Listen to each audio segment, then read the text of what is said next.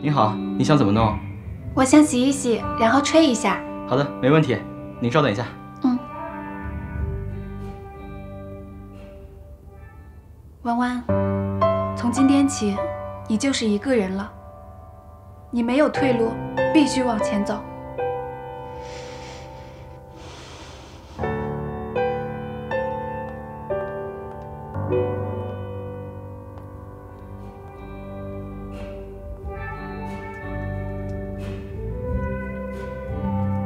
您好，你们这最贵的套餐是什么？啊，最贵的套餐是烫发加上护理，一共是两千八百六。你要做这个吗？行，我就做这个，不管价格，我只要效果好。好的，没问题。您稍等一下。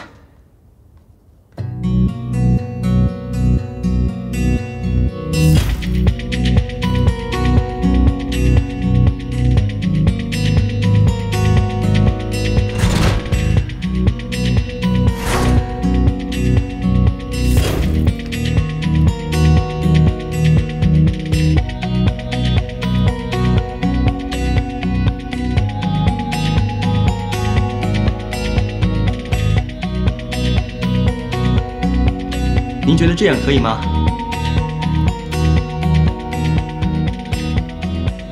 非常好，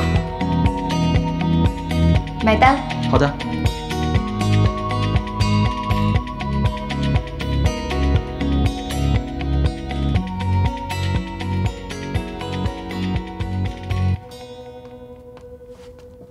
欢迎下次光临。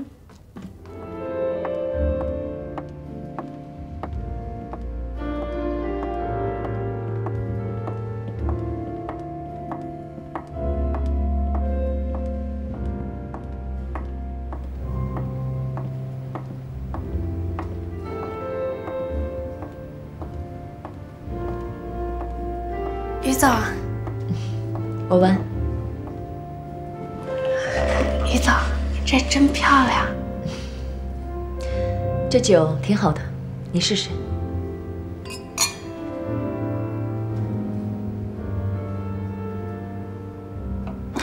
于总，这酒真好喝。啊，这个卡我还是还给您吧。我下午去做了个头发，这就花两千多，实在是太贵了。这是我送给你的，我没打算让你还给我。可是这个真的太贵重了，我花的心里不安。如果你打算上位，做真正的职业白领，你就要改变自己，忘记过去。上位？嗯，我们公司现在策划部经理的位置是空着的，我打算推荐你。推荐我？可是最近几个营销案子出力最多的是吉哲，论实力，这个位子也应该是他的，而且他对我也很关照。弯弯，你知道吗？在职场上，你不能因为任何人而委屈了自己。你知道，一个经理一个月三万多块，再加上年终奖金，你的人生就不一样吗？就算哪一天你离开迪欧，你的身价也今非昔比。这是你人生最重要的一个机会，就跟重新投胎了一样。我我真的从来都没有想过，我我真的可以吗？可是我这样做会不会伤害到吉哲呢？我们每个人都是在缝隙中求生存的，在职场上，你占了一个位置，必然会有人失去这个位置。没有伤害任何人之说，靠的都是实力。可是凭本事，那更应该是记者了。你相信我，我说你可以做到这个位置，你就可以。文文，林总，谢谢你。不客气，谢什么呀？林总，我不知道自己哪里做错了，大家都讨厌我，孤立我，这个时候，也只有你还愿意理我了。你不要管别人怎么想、怎么看的，做好自己就好了。林总，我觉得于总对我真的只是关心，我不知道大家为什么都想的那么复杂。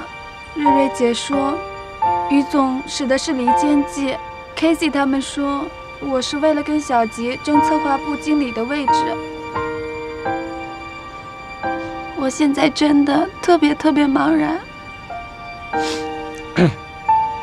我觉得啊，既然你现在想不明白，就不要去想它，时间会证明一切的，这就是我的准则。哎，你看，你就像许诺，许诺刚来的时候不是也一样，被别人认为是一个花瓶，是一个祸害。可是这么长时间以来，他一次一次的用事实证明了他自己，证明了是别人看走眼。嗯，林总，你说的对。哦，还有一件事情，于总说下午让我陪他去时尚沙龙，你说我去吗？去，干嘛不去啊？去长长见识，对你没有坏处。嗯。公司最近怎么样了？哎呀，现在我倒有点看不明白了。哦，这表面上一团和气，这总总感觉不太像。是不是上次我和许诺谈了之后起了作用？哎呀，也许吧。至少，他们现在挺平衡的，感觉火气也没那么大了，表面很平静。表面越平静啊，我就越觉得有问题。我担心这个许诺会搞出什么问题来，你要多看着点。嗯，好的。哎，对了，这两天就是您的生日了，要不要隆重操办一下？都什么岁数了，还过什么生日啊？何况到了我们这个年纪，每过一次生日就提醒自己离死亡更近。净瞎说！生老病死是人生的自然规律，只要你每天的开心快乐，就没有虚度光阴。你现在才说这个？会不会太晚了？我们都已经虚度三十年了。哎呀，你你你千万别这么想。哎呀，你看，我们都老了，没有时间再去后悔了。生日那天，你就过来陪家里几个吃个饭就好。妈，我回来了。哎哎，罗叔，沈总回来了啊。呃，我陪董事长聊天呢，我也要走了。啊不，您都来了，留下来吃个饭吧。留下来吧，志泽都留你吃饭了。啊不，我还有很多事情要处理，我先走了。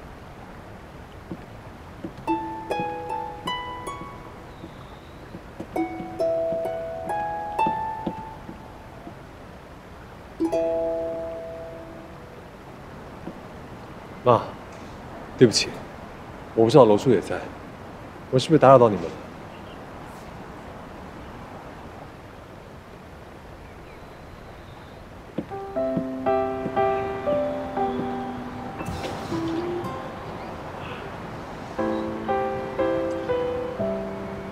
如果您喜欢的话，我可以常让楼叔过来陪陪你。